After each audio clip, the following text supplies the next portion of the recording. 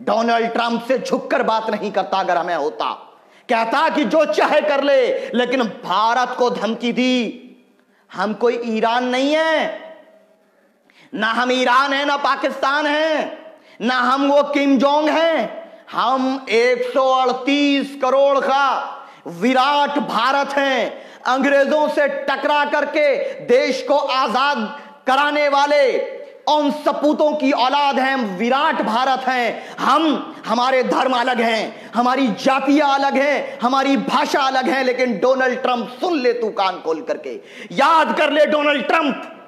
हम, जिस भाषा में कहेगा, उसमें जवाब देंगे, हमारे धर्म अलग, हम देंगे एक वीडियो बनाया है मैंने, डोनाल्ड ट्रंप को ट्विटर पर टैग करके वो ट्वीट करूँगा और कहूँगा कि डोनाल्ड ट्रक ये डोनाल्ड डक क्या है? Petrol pump.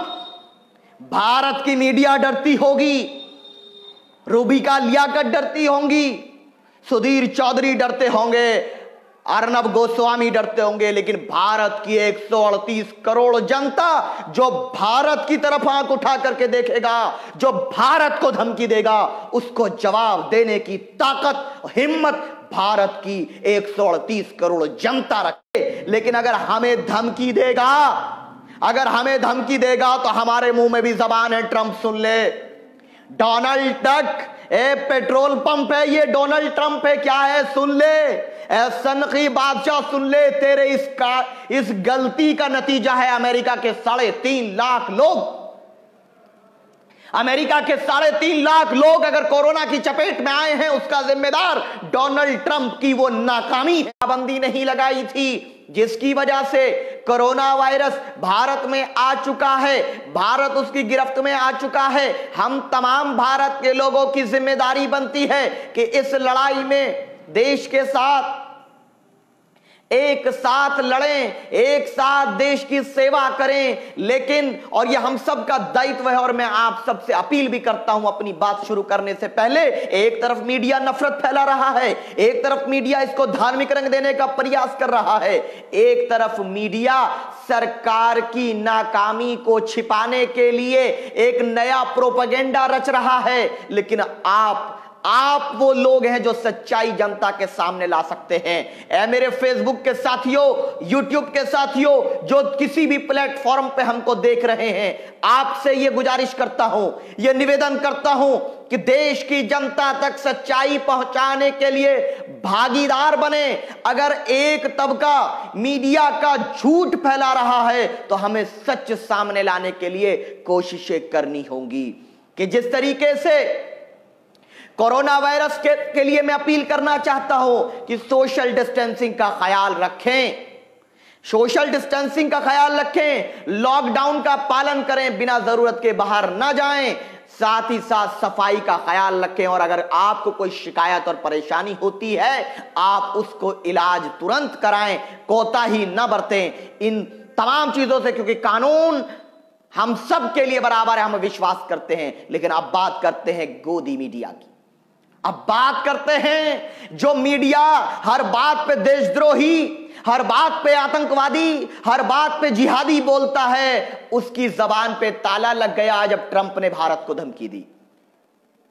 जो मीडिया, चाहे वो मोहतरमा, रूबिका, लियाकत हो, चाहे दीपक चौरसिया हो, चाहे सुमित अवस्थी हो, चाहे सुधीर चौधरी हो जितने भी लोग ये प्रोपोगेंडा चलाए, तमाम लोगों से सवाल है भारत के लोगों का कि जब तुम इस महामारी के वक्त धर्म के नाम पर बांटने का प्रयास कर रहे थे, तुम्हारी देशभक्ति उबल कर बाहर आ रही थी, तुम्हारे जबान से हमारे देश के नागरिकों के लिए जहर निकल रहा था। तुम देश में, समाज में जहर घोलने का काम कर रहे थे और कोरोना वायरस से ज़्यादा खतरनाक, नफरतवादी मीडिया वायरस बनकर तुम देश के लोगों को गुमराह कर रहे थे। आज मैं सवाल पूछता हूँ चैलेंज के साथ सवाल पूछता हूँ, अगर तुम में हिम्मत है रूबी का लियाकत, अगर तुम में हिम्मत है दीपक चौरसिया, तुम में हिम्मत है सुधीर चौधरी, अगर तुम में हिम्मत है रिपब्लिक टीवी के अर्नब गोस्वामी, एक भारत का नागरिक सवाल पूछ रहा है, पूरा भारत पूछ रहा है। ट्रंप से सवाल पूछोगे? ट्रंप ने क्या कहा? ट्रंप ने भारत को धमकी दी है। यह धमकी हमारे सीने पर वार कर रही है, हमें ललकार रही है। वो धमकी जो प्रधानमंत्री जी का दोस्त, जिसके लिए पचास हज़ार करोड़ लोग बोले कि कितने का कार्यक्रम किया गया था, कितने का कार्यक्रम किया गया था? पचास हज़ार करोड़ का कार्यक्रम किया गया था। गुजरात के अंदर उससे पहले हाउडी मोदी किया गया, उसके बाद नमस्ते ट्रंप किया गया, उसके बाद बड़ी बड़ी गाड़ियों में पता चला गरीबों की झोपड़ी को ढाकने के लिए, छिपाने के लिए भारत सरकार ने दीवार खड़ी कर दी थी। आज जो दीवार खड़ी की थी जिसके लिए वो आज हमें ललकार रहा है, आज हमारी आँख में आग डाल के धमकी दे रहा है, प्रधानमंत्री जी, भारत के नागरिक आग बबूला है। आज हमारे दिलों में गुस्सा है कि किसी की इतनी हिम्मत कैसे हो गई कि मेरे भारत को ललकारे और हमें धमकी दे कि तुम्हें दवाई देना पड़ेगा। यह हम मानवता के हित ऐसी है। हम हमेशा इंसानियत को बचाने के लिए भारत आगे आया है। बिल्कुल, हमें एतराज़ नहीं कि हम इंसानियत बचाएँगे, लेकिन अगर हमें धमकी देगा, अगर हमें धमकी देगा तो हमारे मुँह में भी जबान है, ट्रंप सुन ले। डोनाल्ड टक, ए, पेट्रोल पंप है, ये डोनाल्ड ट्रंप है, क्या है, सुन ले। ए सनकी बादशाह, सुन ले, तेरे इस का, इस गलती का नतीजा है अमेरिका के साढ़े तीन लाख लोग। अमेरिका के साढ़े तीन लाख लोग अगर कोरोना की चपेट में आए हैं, उसका जिम्मेदार डोनाल्ड ट्रंप की वो नाकामी है। हम सीएनएन वाले नहीं हैं, जो तुझसे डर के बात करेंगे। हम भारत के राष्ट्रवादी हैं। हमने अंग्रेज़ों से मुकाबला किया है। हमारे इतिहास को पढ़ ले डोनाल्ड ट्रंप। और अगर अंग्रेज़ी में भी सुनना चाह रहा है तो हम अंग्रेज़ी में भी तुझे जवाब देंगे। एक वीडियो बनाया है मैंने, डोनाल्ड ट्रंप को ट्विटर पर टैग करके वो ट्वीट करूँगा और कहूँगा कि डोनाल्ड ट्रक ये डोनाल्ड डक क्या है पेट्रोल पंप? भारत की मीडिया डरती होगी, रूबी रूबिका लियाकत डरती होंगी। सुधीर चौधरी डरते होंगे, अर्नब गोस्वामी डरते होंगे, लेकिन भारत की 138 करोड़ जनता जो भारत की तरफ़ आँख उठा करके देखेगा, जो भारत को धमकी देगा, उसको जवाब देने की ताकत हिम्मत भारत की 138 करोड़ जनता रखती है। एक तो दवाई भीख में मांग रहा है। हम इंसानियत के नाते, मानवता के नाते तुम्हारी मदद करने के लिए तैयार हैं। फिर तू धमकी दे रहा है, अंजाम भुगतना पड़ेगा। प्रधानमंत्री जी 138 करोड़ लोग आपके पीछे खड़े हैं। छप्पन इंच का सीना दिखा करके इसका मुकाबला करो। जवाब दो कि हम तुझे दवाई दबाव में नहीं दे रहे, हम मानव सेवा के लिए दे रहे हैं। और अगर धमकी देगा तो फिर उस दवाई को रोकना भी जानते हैं। हम तो जीवन की रक्षा करना चाहते हैं भारत तो तमाम दुनिया के लिए एक पैगाम देना चाहता है कि अगर हम कोई मदद कर सकते हैं तो करें। लेकिन मोदी जी, आपसे अनुरोध है कि दूसरों की मदद के लिए अपने गरीबों को मरने के लिए न छोड़ देना आप।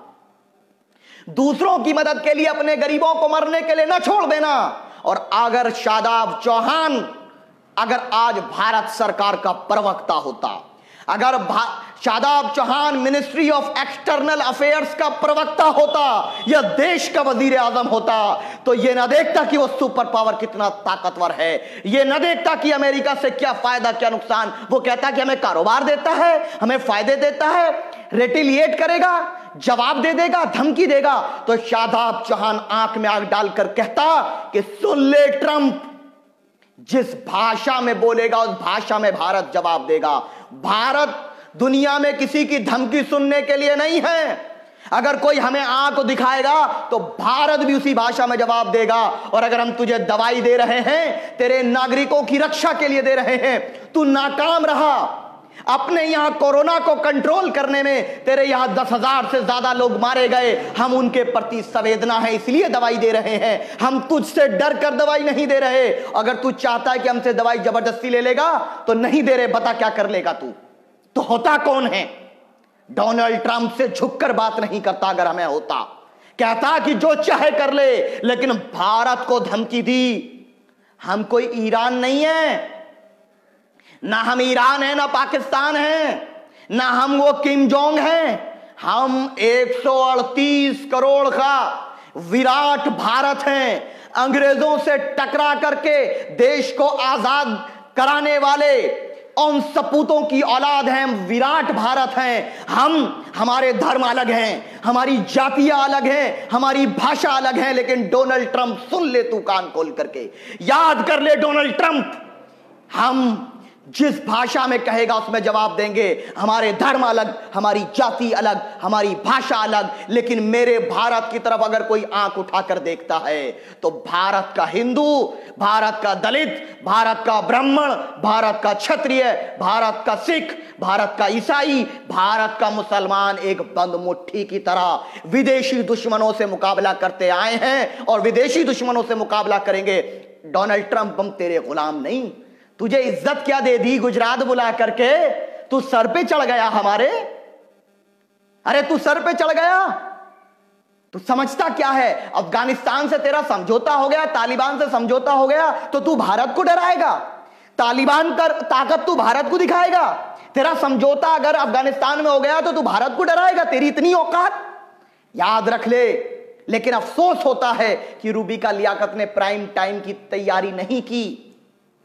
वो दीपक चौरसिया जो देशभक्ति कहता है मैं देशभक्त हूँ देश का सवाल कर रहा हूँ, उसने प्राइम टाइम में डिबेट नहीं की। और एक सुधीर तिहाड़ी सुधीर चौधरी अर्नब गोस्वामी कहता, पूछता है भारत, पूछता है भारत पे सवाल अर्नब गोस्वामी ने। इस मुद्दे पर नहीं किया कि ट्रंप ने धमकी दी तो मोदी जी क्यों खामोश हैं? हमारे देश के प्रधानमंत्री जी, आप बिल्कुल फ़िक्र मत करिए। जो चाहिए, अगर तंग चाहिए मन चाहिए, धन चाहिए, लेकिन इसको जवाब दीजिए। हमारे आपसे इख्तलाफ हो सकते हैं, लेकिन देश का मामला आए तो हम आपके साथ खड़े हैं। देश हित में आपके साथ खड़े हैं। जवाब दो ट्रंप को।